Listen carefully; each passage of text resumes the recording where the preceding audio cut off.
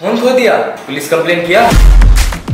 मैं रमेश मेरा फ़ोन खो गया। मेरा भी हो गया था छह महीने पहले। ये पुलिस वाले होते हैं ना औरतों के सामने नरम पड़ जाते हैं। ऐसा क्या? बीच में चुप करिए ना मैडम बीच देखिए ना बीच पुलिस वालों से डरने का नहीं सारे पुलिस वाले एक जैसे नहीं होते।